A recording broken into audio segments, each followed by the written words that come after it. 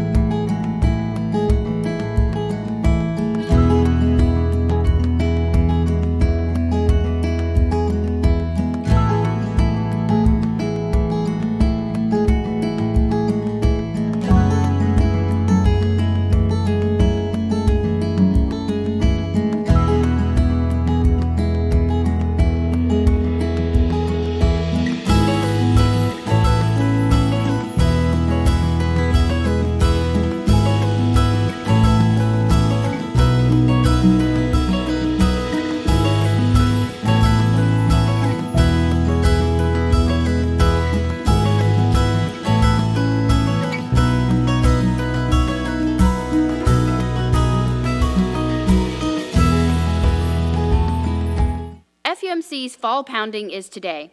Bags and supplies will be sorted in Kubler Hall following the 1115 service and delivered to Heritage Park this afternoon. Bags will also be delivered to our Micah neighbors later in the week. Please bring your bag of hygiene items to the church following worship this morning, and you can help sort these gifts for our neighbors. You could also make a donation online for food gift cards. Thank you to everyone that has pledged for 2022. If you didn't get a chance to turn in your pledge card last week, you can find the card and letter concerning pledging at our Give page or set it up online through Simple Church or pick up a card in the narthex or gathering space. We will have family worship service at the 945 service next Sunday to kick off the Advent season. This will be a time to worship together as a family, strengthen your faith, and share all the good of the coming time of hope, joy, peace, and love. There will be no children or youth Sunday school, but nursery will be available. Here are some ways you can lean into the Advent season and do all the good. The, our angel tree, which supports prison fellowship program, is up in the gathering space. There will be an online option to donate gift cards. Today, we also have the Guatemalan artisan sale by Alter Natives in the gathering space until 1:15 p.m. Then you don't want to miss the kickoff to a joyful Christmas season on Saturday, December 4th, with games and s'mores and a photo booth on the green prior to the Christmas parade. Plus, come support our youth as they fundraise and sell concessions. So grab your seat for the parade and a treat. Online communion will be part of today's worship service. Now let's ready our hearts and minds for worship.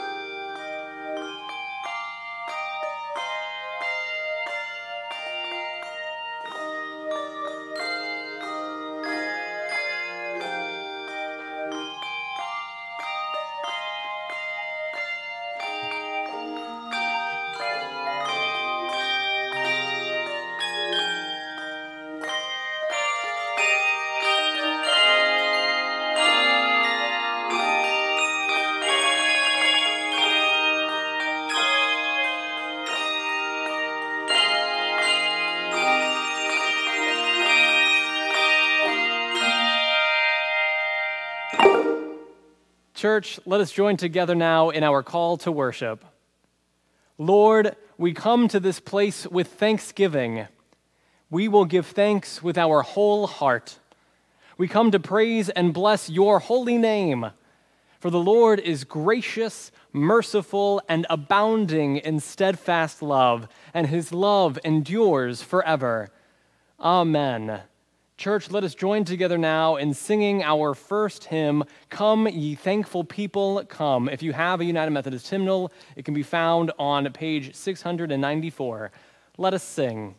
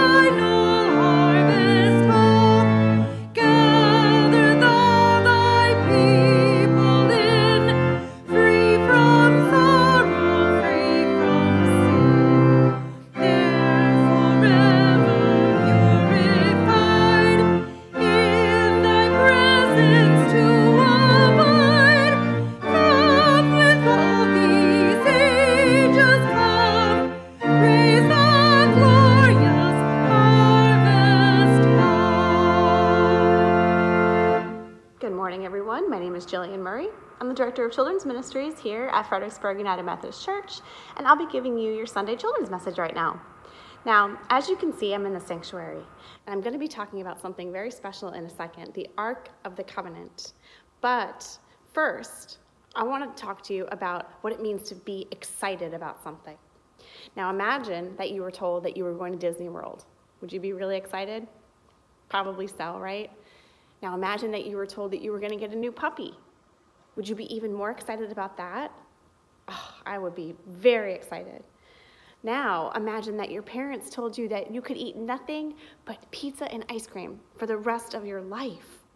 And all those things you were told on the same day. Would you be so, so happy and so excited? What would you do? Would you want to dance and sing and jump up, or up and down and laugh and maybe play some music? I probably would. I'd be so, so happy. Now, I'd be so grateful and I'd feel very blessed that all those things were happening to me all at once. Now, today's lesson is all about how important it is to be grateful and how we can show our thankfulness. We have a heart after God when we show our gratefulness. Now, King David had a lot of things to be grateful for. So we remember David from the David and Goliath story, but he was made king, and he decided that the Ark of the Covenant should be brought to Jerusalem. Now, here is a model of the Ark. And the ark contained the Ten Commandments, and it also had other special things in it, and it was a um, representation of God. So wherever the ark was, the presence of God was. So, of course, it was very special, and King David wanted it for his own in Jerusalem. King David loved God, and he wanted to be close to him. So he was celebrating with all his might in the streets when the ark was returned to the city of Jerusalem. He was dancing and singing, and there was music. Now, Saul's daughter thought that King David shouldn't be dancing and singing in the streets. She was kind of embarrassed for him. But he didn't care. He was dancing and singing anyways because he was so, so grateful and he knew that God was with him and that God was blessing him. Now, we have so much to be grateful for. It's Thanksgiving week, and so we should never, ever hide our gratefulness, especially during this important holiday. So, this Thanksgiving, I want you to dance and sing for all the blessings that God has given us. Have a wonderful holiday. Amen. Church, as we continue to worship this morning with a time of prayer, there are members of our community that we want to lift up today. We are in prayer for uh, Brenda Goodpasture, who is at rehab. We also pray for others with health concerns, such as Doug Holbrook, Glenna Lee, Betty Drew, Ken Davis, Carl Williams Jr., Brian Brandt, Martha and Gordon Linkus, Destiny Danville, Peggy Brewster, and Steve Hoover, Wayne Hedge, Stephen Dellinger, Libby Wassam, Bob Lewandowski, and Smokey Reed. For those that we've named aloud and the others that we lift up to God silently on our hearts, let us pray. Most holy God, we give you thanks this morning for the opportunity to gather with one another online whether we are in living rooms or at kitchen tables, perhaps we're listening to worship as we walk through our neighborhoods or, or drive to work or see family. Wherever we find ourselves today, we thank you that we are connected as your body of Christ and community, and we are just so gracious. God, we know that there are those in our community that joy comes easy today, those that are able to spend time with family members and loved ones those that are preparing to spend a week on a holiday break to hear some good news related to work or school. Those that see maybe a little bit more clearly than normal what this next season will look like in their lives. God, for all of this, we just say thank you. And God, we also know that there are those in our community with heavy hearts those that are grieving the loss of family members, those that find themselves in the midst of waiting and uncertainty, unsure about what news they may receive from physicians or employers. Those that, as we move into this holiday season, find that they do so with, with some heaviness. And Lord, we also know that there are those in the church where this Sunday may feel like a regular, ordinary Sunday. Wherever we may find ourselves today, God, help us all to feel the presence of your Spirit, to know that we are not alone, that you are with us, and that in the midst of uh, mourning and grief or, or happiness, that we are able to bear the fruit of your joy.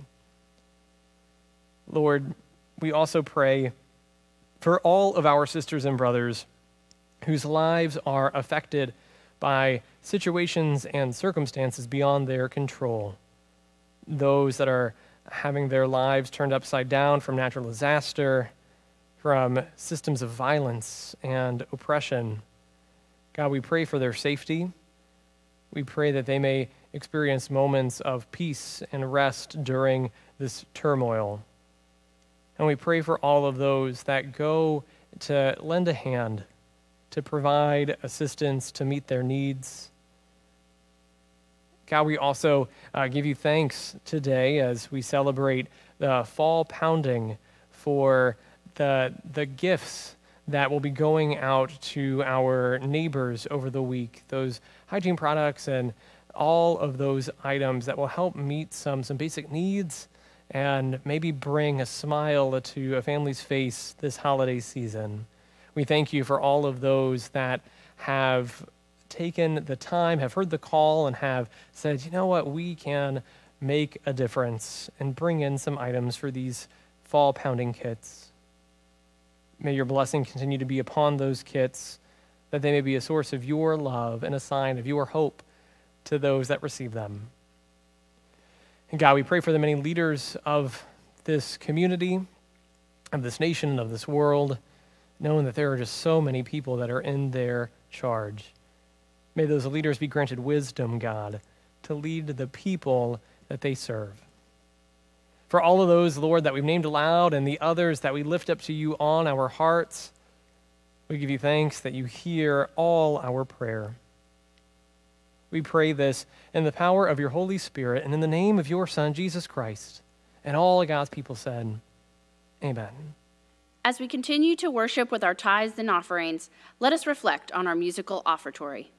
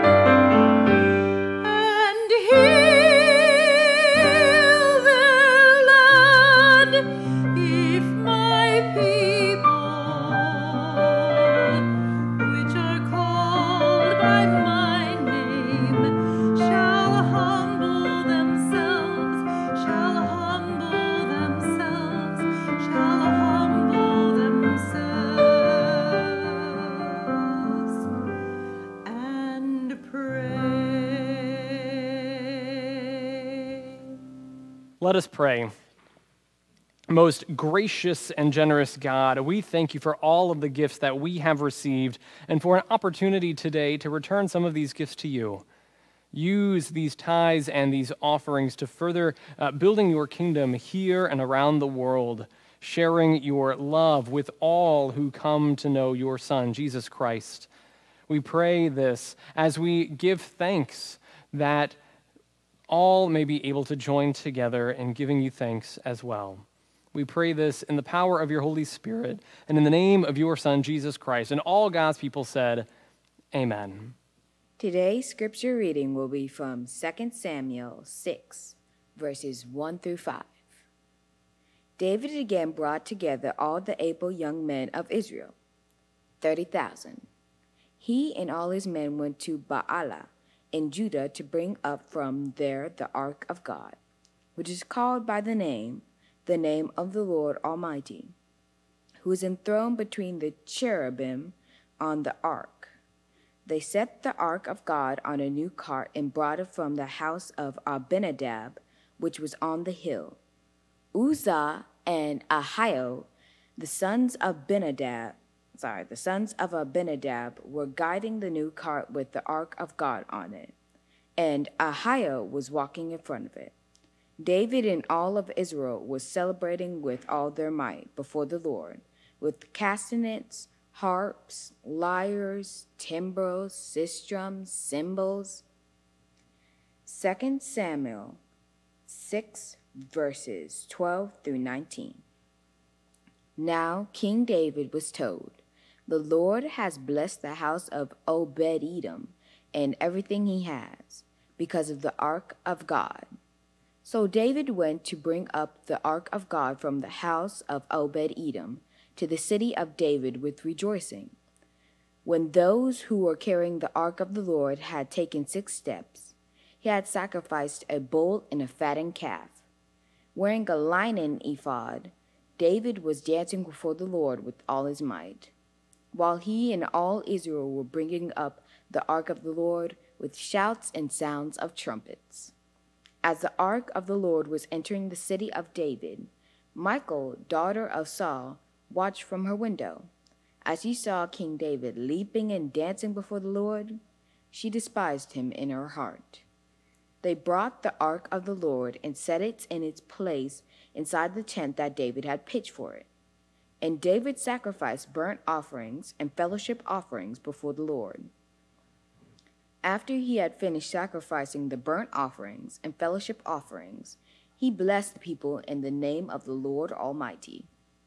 Then he gave a loaf of bread, a cake of dates, and a cake of raisins to each person in the whole crowd of Israelites, both men and women. And all the people went to their homes. Would you pray with me? Lord, we thank you for how your word speaks to us today. Open our hearts and our minds so that you may place in us a new insight and gain a deeper knowledge of you. In your Son's most holy name we pray. Amen. Today is Christ the King Sunday, the last Sunday before we journey into Advent. Together, we're going to take a journey today into gratitude. In our scripture reading, we find King David dancing like nobody's watching, except for 30,000 of his troops, his closest friends, his loyal subjects, and his wife. David puts on a winning touchdown end zone celebration like football is never seen. He is totally in the moment and dancing his heart out. But wait a minute, let's back up a minute. What's going on here? Which one is David, and why is the king dancing? When we first meet David, he is a shepherd boy who is inspired to take on a giant with a sling and five stones. With a single well placed rock to the forehead, an arrogant giant named Goliath falls. David wins the battle for his people and is an instant hero. Can you imagine that moment in this boy's life? Was that a fist pump moment, or was there a dignified golf clap that rippled through the troops? What kind of celebration or show of gratitude was there? Fast forward, and David was anointed by God by the prophet Samuel to eventually come become a king. He became a powerful military leader and then the unifying king of Israel. David knows that God's hand has been on him the entire time and has delivered him from some pretty tight spots. In today's scripture, it is King David who has the opportunity to retrieve the most sacred, the most holy object in his people's history the Ark of the Covenant. To the Hebrew people, it was the only physical manifestation of God's presence on earth. The youth have made us a replica of the ark to scale that you will see before you. In Exodus chapter 25, God has given Moses precise instructions on how the ark is to be built and moved.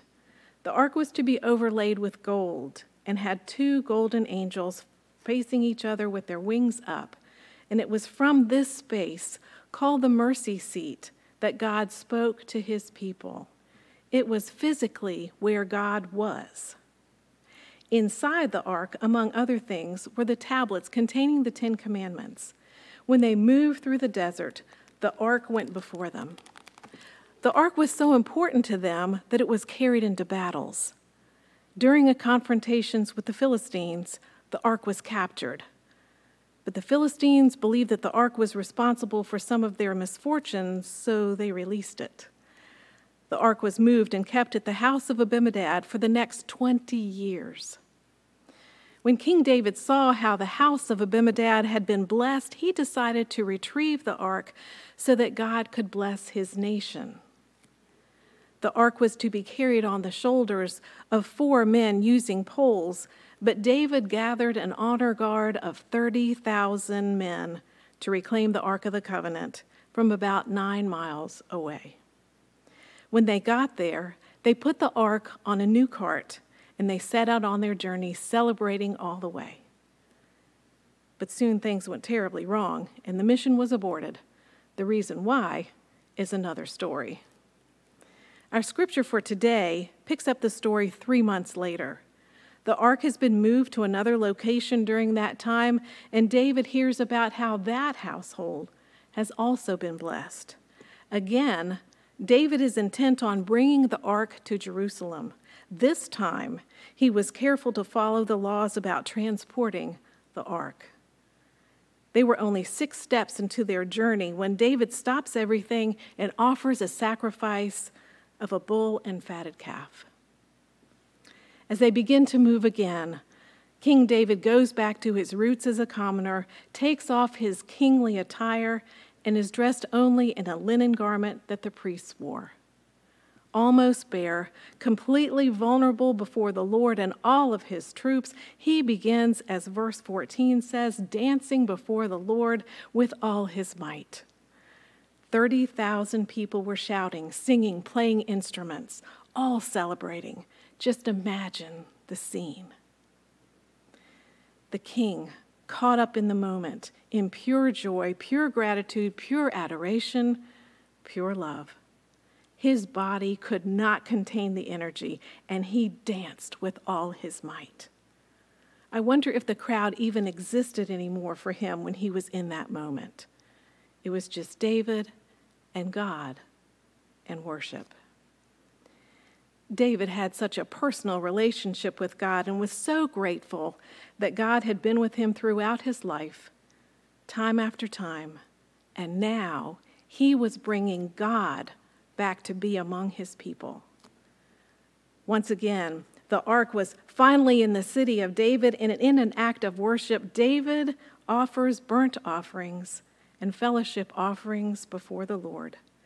Continuing the celebration, David makes sure that every person, including the women, is given food meat, bread, cakes of raisins, and dates. He offers a blessing over his people in the name of God, and he is ready to go home. It has been beyond a spectacular day. God is with them. But not everybody is happy. Michal, his wife, has watched his entry into Jerusalem, and verse 16 picks up the story and says, Michal, daughter of Saul, watched from a window, and when she saw David leaping and dancing before the Lord, she despised him in her heart. She despised him. Michal, being raised by royalty with royal protocols, is upset by his display and in later verses, she tells him what she thinks.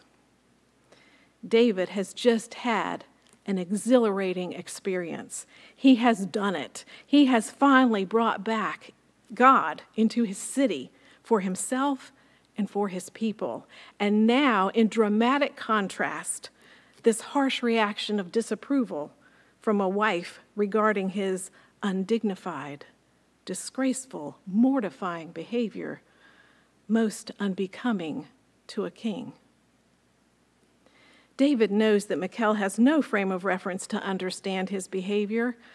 He says to Michal that he was not born into royalty like she was. All he has, his promotion, his kingship, everything, is because of God's favor. He tells her that he will show his gratitude and will worship God in whatever way he feels moved to. He lets her know that her bitterness will not steal his joy. So, what relevance does a dancing king, a disapproving wife, a crowd, and an ark have for us in 2021? We've been through a lot in this past 18 months. People are thinking deeply about the world and their place in it. It has changed how we do things and maybe shifted our focus, particularly when the churches shut down. It might even seem difficult to see where God is in all of this. But we have to remember that every person of influence in the Bible has gone through some tough times. This sorting and shifting has caused many of us to reprioritize and seek out and cling to our ark and our spiritual connection with God. Where do we find ourselves in the story? Do we find ourselves in the crowd with like minded people? Or do we identify with David? David recognized that he needed to retrieve that centering force, that personal relationship with God, and he made a concerted effort to go after it twice. And when he did, he found such joy and peace and strength in that connection. David's worship that day, though highly public, was highly personal. David's worship was an expression of who he is. It was genuine, freely given, and without regard for what others were thinking.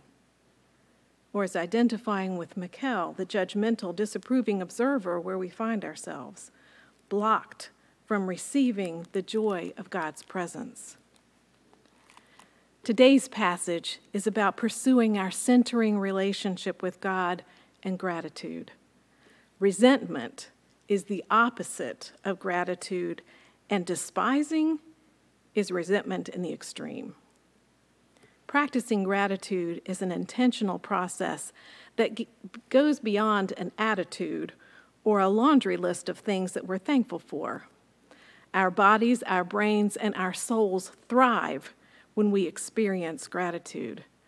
Gratitude gives us energy, a new vitality, enthusiasm.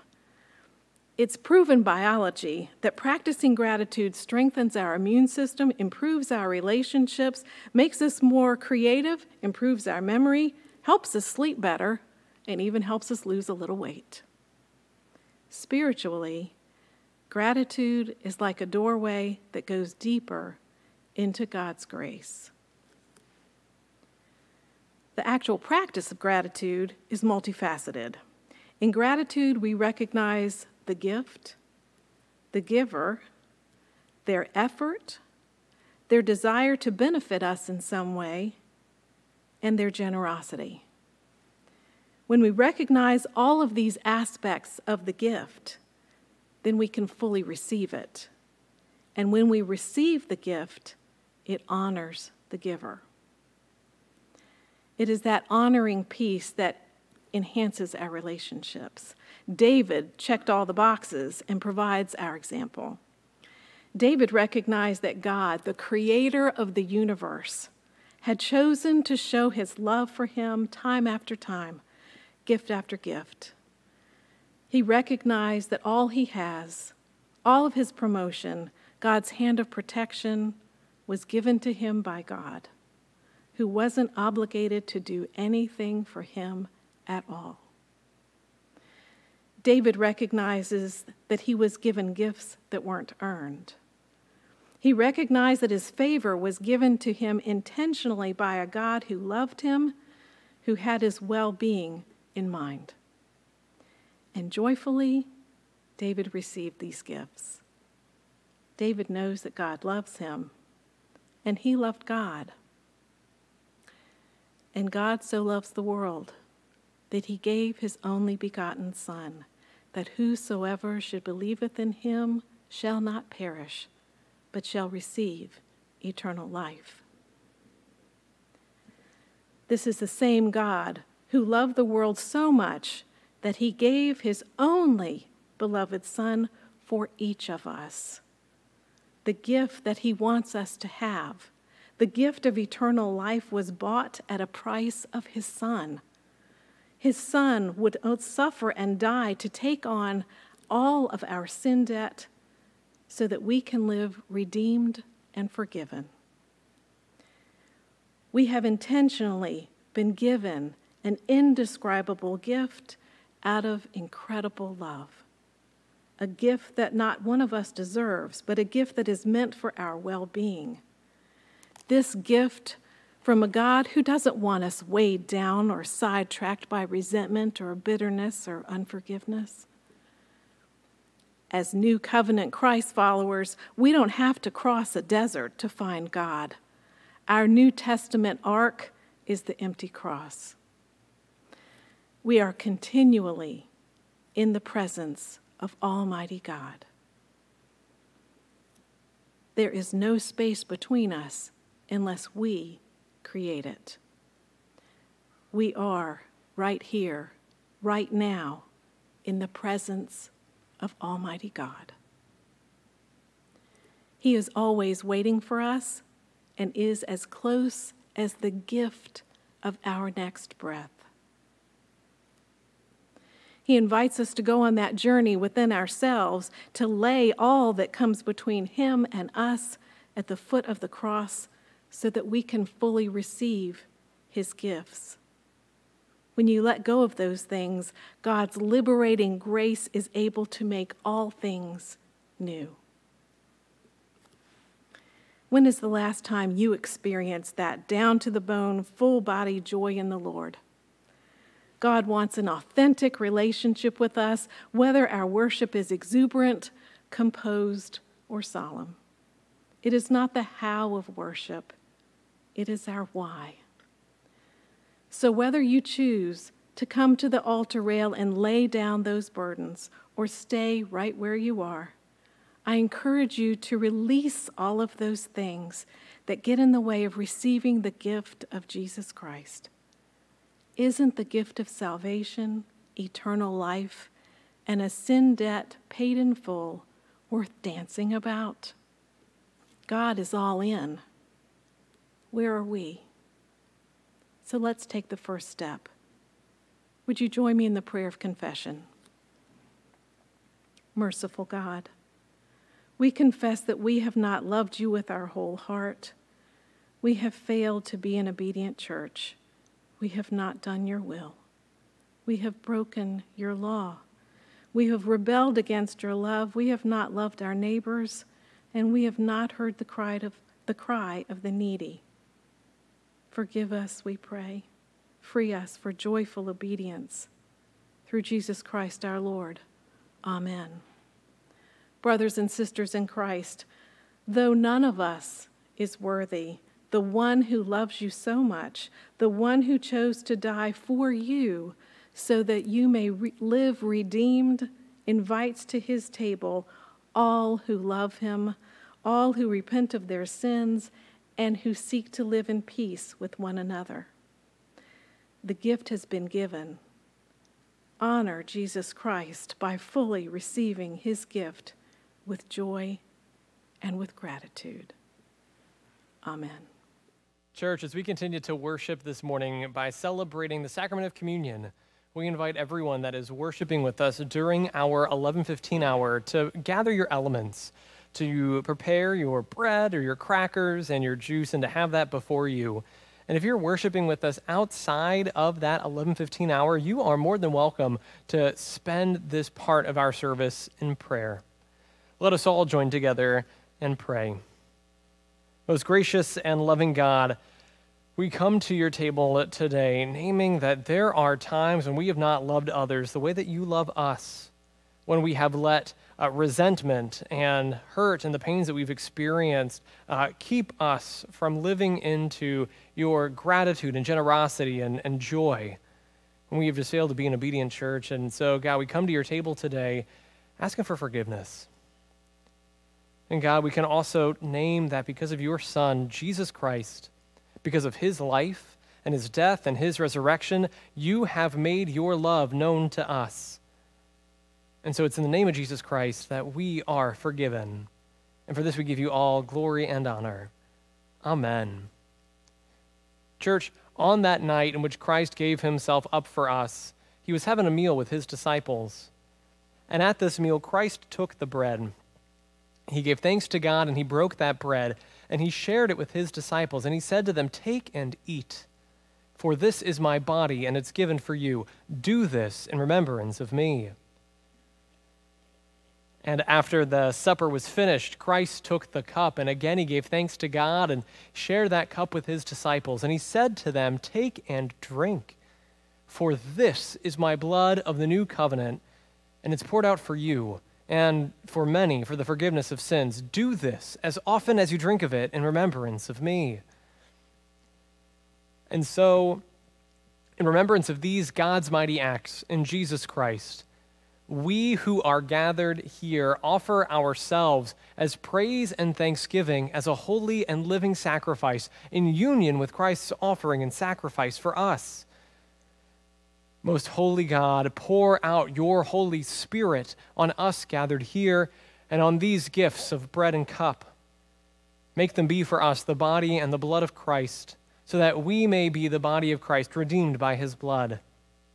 All of this we do in Christ, with Christ, and through Christ, in the power of your Holy Spirit. And we give you all honor and glory now and forever. Amen. Church, let us join together now in praying that prayer that Jesus taught us while he was with us on earth by praying, Our Father, who art in heaven, hallowed be thy name.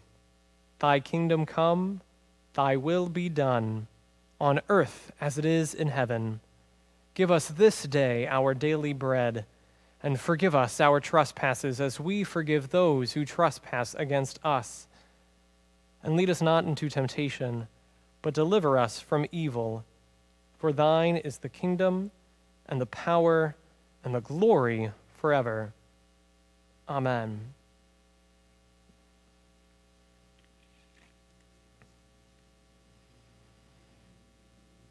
The bread that we share is a sharing in the body of Christ.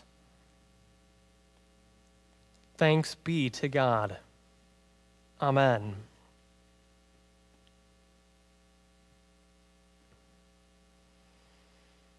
And the cup that we share is a sharing in the blood of Christ. Thanks be to God. Amen. Church, it is with joy that we can name that the table is set and that the Lord's Supper is prepared. And this table, this is not my table or the table of the Methodist Church, but this is the table of our Lord and Savior Jesus Christ. And there are no strangers to Christ. All who seek to be in relationship with Jesus and follow in his ways are welcome to the feast this morning. We'll invite you to break off a piece of that bread that you have or to share those crackers with one another and to name to each person that this is the body of Christ and it's broken for you. You're then welcome to share in the cup with each other, naming that this is the blood of Christ that is shed for you. Now, following the end of the worship service today, if you have additional elements, you are welcome to consume those, to eat them and drink them, or you can return them to the earth by taking them outside. Let us pray. God of amazing grace that calls us to gratitude, turning away from resentment. We thank you for this holy mystery that we have shared with one another. As we ready ourselves to go out into the world, help us to live into the spirit of gratitude, dancing with joy, so that others may see and come to know your love as well. Amen.